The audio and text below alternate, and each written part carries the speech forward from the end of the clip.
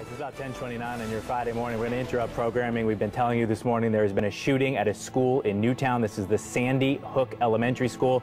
Let's take a look here at the map. This school is at 12 Dickenson Drive to give you an idea where we're talking about. This is off of I-84 between exits 10 and 11. Right into one of the most terrible and senseless shootings in U.S. history.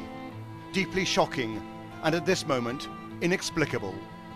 Tonight, America is only beginning to understand the scale and horror of what happened inside this kindergarten. Oak Creek Dispatch